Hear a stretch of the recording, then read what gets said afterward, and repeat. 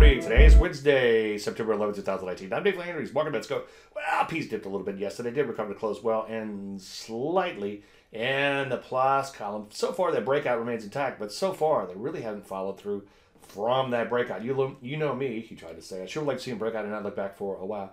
NASDAQ dipped a little bit, almost made it back to the plus column in here. Closed well, like the P's, but it's pulled back into its prior little breakout. But so far, it's hanging around the top of that range. Russell 2000 did pretty good though. Take a look at that. It's up a percent and a quarter. As I would say, quite a bit so far. It looks like a big picture top remains in place here, but a few more days like today would help to negate that. A lot of areas are crawling back to their old highs, but uh, they're going to have a little resistance to get through. There's manufacturing. Software not looking so hot in here. Looks like a top remains in place there. So the point is, it's pretty mixed out there with the exception of gold and silver, which looks pretty good. Also, take a look at bonds. Bonds are pulling back and it could provide possible opening gap reversal play there soon. Other than that, there's not a whole lot to do. Any questions? As usual, Dave, Dave, I'm Dave Landry. You started